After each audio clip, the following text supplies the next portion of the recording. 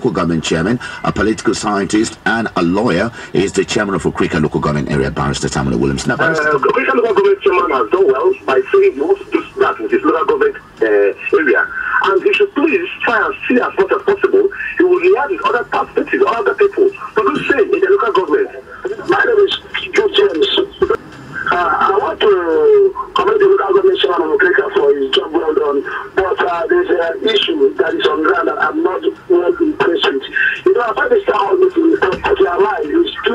too popularized because if you look at it from the effect of it, when the governor should come, these are going to be a card carrier of the members of the make peace to favor what the local government chairman is doing. For sure, it's working. But another issue is that the local government chairman made a statement before the contest uh, to the and, uh, and the contest.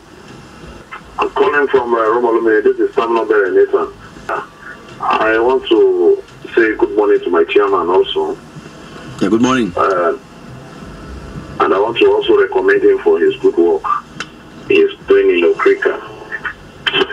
I want to, my contribution is that I think for a short while we have seen the physical demonstration of uh, the dividends of uh, democracy of and of a good leader.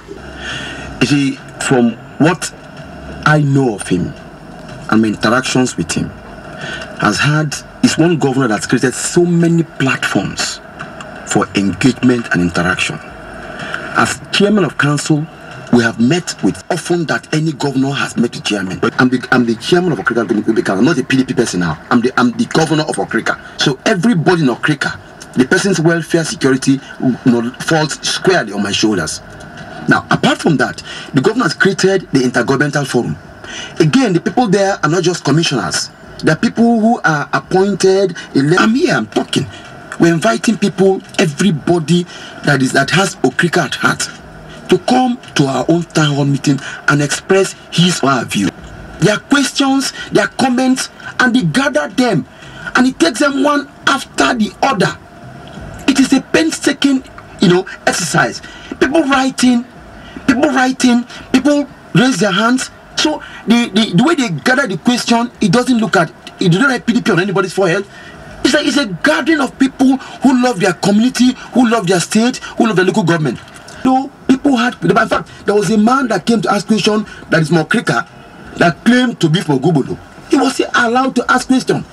The governor had ample time. People wrote in papers from from all the stands. Even youth corpus came. A student came and in fact asked that uh, in his own school right now there are about 40 teachers a, a student of uh, Ogo, Secondary School.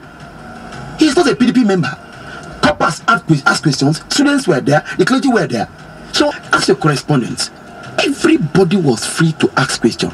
Now, the governor of River State is not an intimidating person.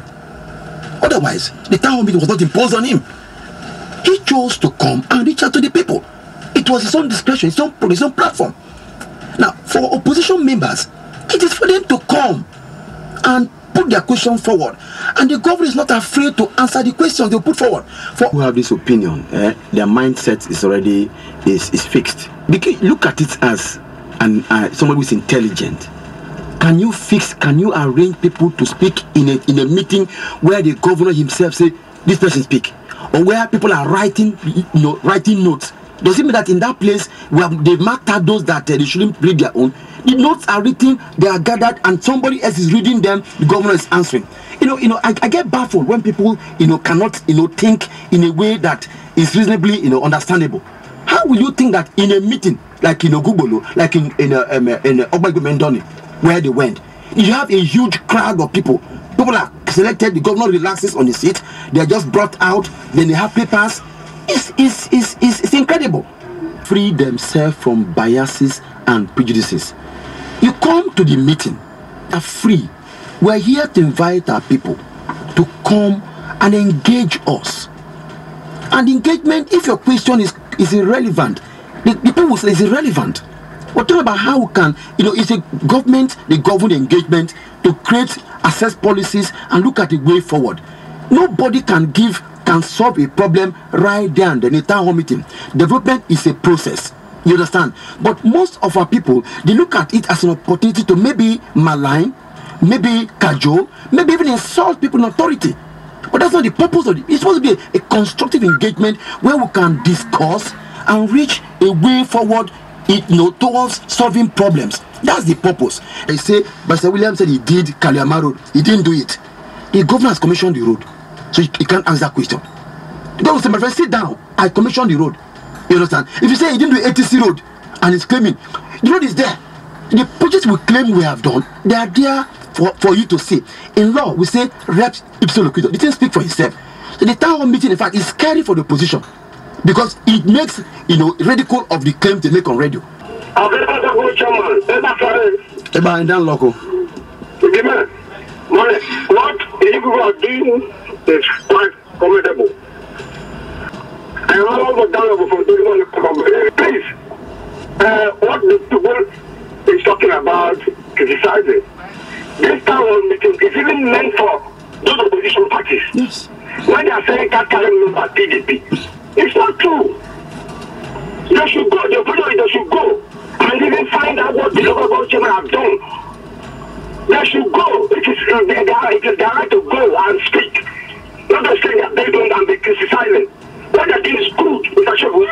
The Okrika Local Government Council is one council, it's one people that we crisscross so many, so many LGAs. Now, we've held several engagement platforms. One yesterday with the market women. It's a town hall meeting. We interface with them. We've, we set up a committee on environment after we met with the um, uh, um, Iblia and Ekrikana people when there was a gas leak. Town hall meeting. You mustn't call it in a town hall meeting.